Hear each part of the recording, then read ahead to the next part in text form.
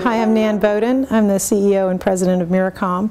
Uh, Myricom's been in the high performance computer networking business for uh, quite a few years, starting off in, in uh, areas of HPC, uh, and we've now been doing uh, 10 gigabit Ethernet uh, technology and being able to make adaptable network adapters to focus on different vertical markets. One of the most interesting vertical markets we've been focusing upon has been high frequency trading, and in that market, Arista Networks has been an excellent partner where our network adapters are used in these applications. They're often used with Arista Networks uh, high, low latency and high performance switches.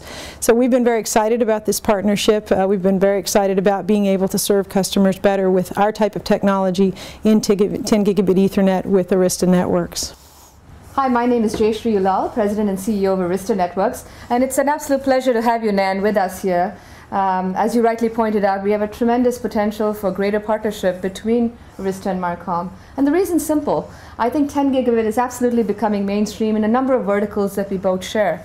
And us solving the problem from a latency point of view in switching is not enough. We really need to bring this end to end right down to the stack, the host adapter, and optimize not just every nanosecond of latency, but every aspect of jitter. And as you and I discussed earlier, every aspect of measuring the latency as well. Arista has some very interesting technology there in terms of analyzing the latency uh, congestion avoidance, congestion management, and we see tremendous potential to extend that not just at the switch, but bring it right down to the host adapter as well. Mm -hmm. So in fact, one of the things we've really studied in, in being able to bring high performance networking to high frequency trading is latency, jitter of latency, repeatability of low latency performance, because we've all seen places where a vendor might say, here's the lowest latency number that anyone else has published. But in reality, when trades are happening, the customers really need that dependence dependable, repeatable latency, and that's something we focus very, very strongly on in our solutions. Oh, I resonate with that totally. We'll have somebody give a number on just, you know, layer 2, mm -hmm. uh, none of the services turned on, no ACLs, no layer 3, and at 64 byte packets. Mm -hmm. And mm-hmm. that, that's not real world.